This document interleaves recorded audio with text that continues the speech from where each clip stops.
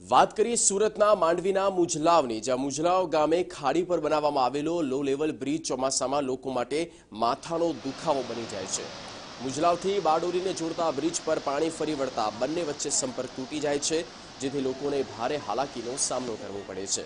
વિદ્યાર્થીઓથી લઈને ખેડૂતો અને સ્થાનિકોને પારાવાર મુશ્કેલી વેઠવી પડે છે. ગામમાં હોસ્પિટલ કે શિક્ષણની વ્યવસ્થા ન હોવાથી ગ્રામજનોએ અન્ય સ્થળ પર જવાની ફરજ પડી છે. પરંતુ ખાડી પરના લો લેવલ બ્રિજ પર પાણી આવી જવાથી હેરાન પરેશાન થઈ જવાય છે.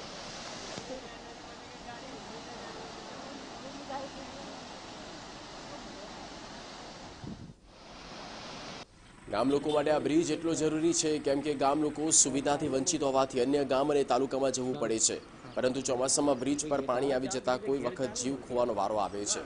ગામના સરપંચ અનેક વખત રજૂઆત કરી કે ગાંધીનગર સુધી રજૂઆતો કરી કંઈક રસ્તો કરવા માટે અપીલ કરી, જેથી ગામ લોકોને પડતી હાલાકીમાંથી છુટકારો મેળવી શકાય.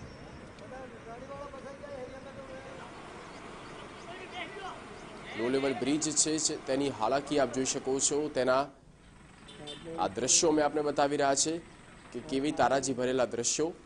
જવું તો જવું ક્યાં, કારણ કે મુખ્ય જે સંપર્કનો રસ્તો છે, માધ્યમ જે છે મૂળ જે જિલ્લાને જોડે છે, તે તૂટી ગયું છે.